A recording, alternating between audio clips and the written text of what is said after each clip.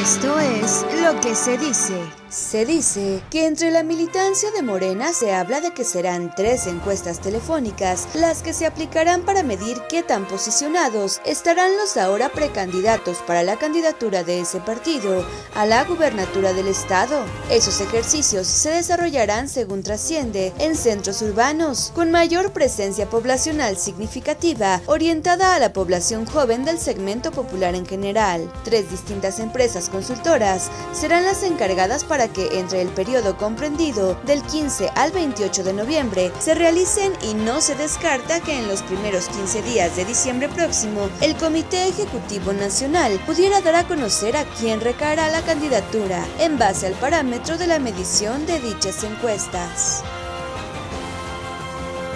Se dice que a quienes se les acabó la euforia por caminar en Avenida Revolución sin tener que esquivar los autos fue a los pachuqueños, pues si bien insistían al alcalde de Pachuca que retomara la actividad, ayer se vio desangelada la vialidad y muchos negocios se mantuvieron cerrados, ya que la actividad económica no se ha reactivado como esperaban los comercios, aunque es contrario a lo que viven los negocios de comida. Esperemos que el programa Revolución en Familia no muera y puedan